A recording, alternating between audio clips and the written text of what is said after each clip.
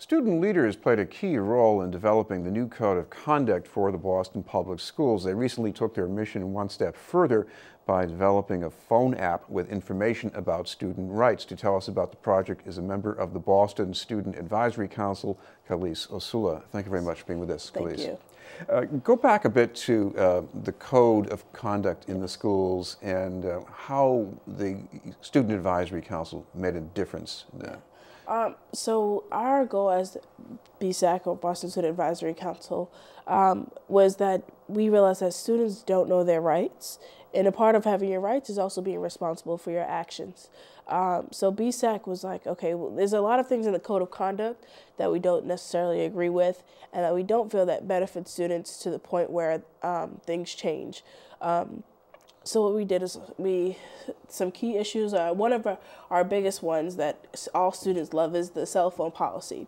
So it used to be a three strike rule, and with that three strike rule, is the first time you get your phone was taken away till the end of the day by an administrator or a teacher. The second time was um, your parent had to come up, and the third time was that you don't get it back till the end of the school year.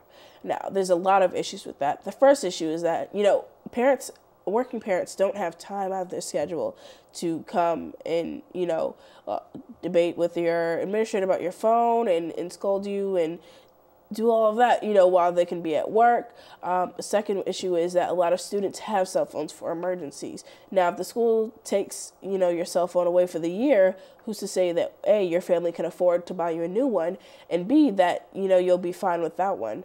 Um, in this modern day and time, 911 is takes three seconds to call 911. So there was some issues around that, um, and also uh, just not being able to. Um, we just found that it was a huge issue for students as well, and that it was unfair.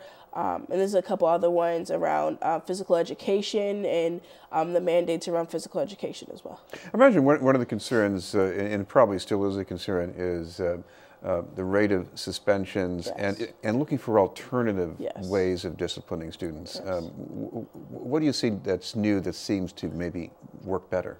Um, well, there's a couple alternatives. Uh, one way we seek, like, uh, say, to uh, because uh, in a lot of BPS schools, uh, a fight is an automatic three day suspension. Um, drugs is an automatic suspension.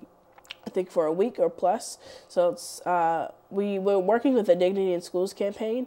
We um, surveyed at different uh, train stations around Boston, Ashmont, Fields, no, sorry, Ashmont, Fields Corner, Dudley, Forest Hills, and another one. But while interviewing, we found that there were so many students and parents. This is who we interviewed. We interviewed BPS students and parents, and they said, "Oh yeah, I did it. I did it again, or I fought again, or I was rolling dice and I got suspended." And then, okay, did you do it again? Yeah, I did it again. So it's like if you're consistently, constantly suspending the student for three days for each time let's say the student gets suspended four times, it's uh, 12, what, it's 12 times uh, out of the year, so they miss 12 school days. It's just, it's a pattern. And so if you're suspended so much that you're not in school, then you dropping out of school won't be an issue because you were never there a lot to begin with.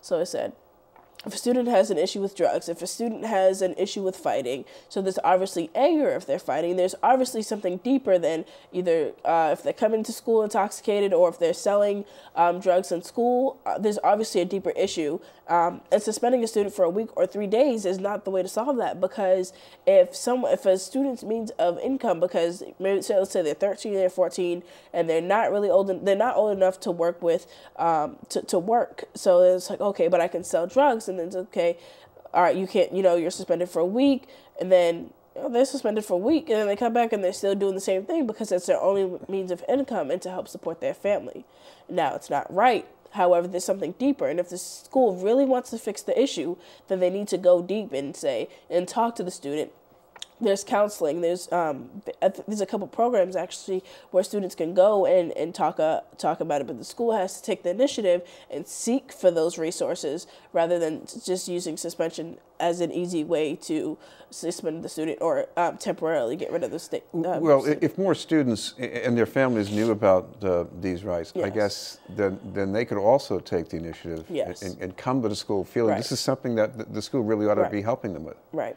So we have a couple pamphlets that we pass out. Um, and lately, we've been going around to schools. We've had a team of stu- uh, uh, the students that uh, are represented at BSAC, and we have a team of uh, staff that support us. And we go to the schools, and you know, we spread the word on the app. And they're like, "Oh wow, I didn't know this." Like uh, another huge thing is sometimes uh, a teacher will or an administrator will say, "Oh, like we're sending you home for the day." I have a lot of friends who's like, "Oh, I, I, you know, I was sent home for the day."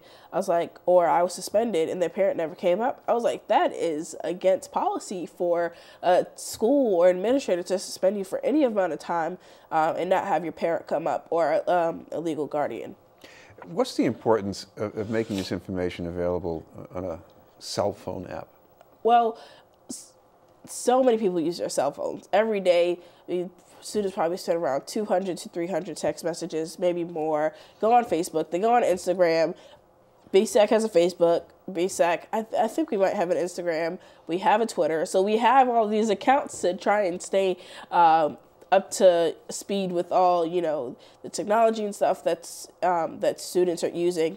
Um, so we put it on the app because we realized that everyone's always on their cell phone, old and young.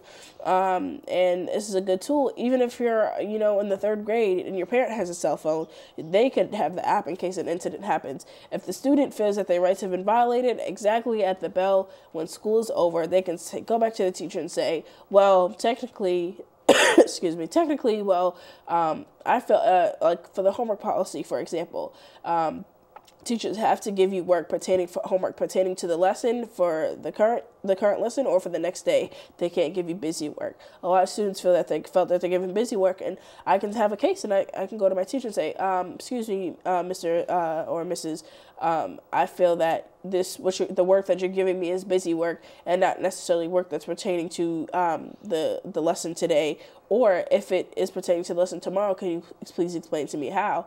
If they can't explain to you how then it's you know you're going against policy once again uh, because it's uh, busy work. But having the cell phone app and having being uh, and being able to reach so many students there's a lot of students in BPS, but I think as of today, we have 700 plus students who have visited and downloaded the app.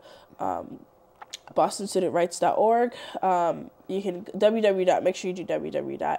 Um, you go to the website and you save it as a home page. Um, it's not currently on the Apple Store, but it will be on the Play Store for Androids. Right. Thank you very much for being with us. Thank you. Kalise Osula from the Boston Student Advisory Council. We'll have more news in just a moment.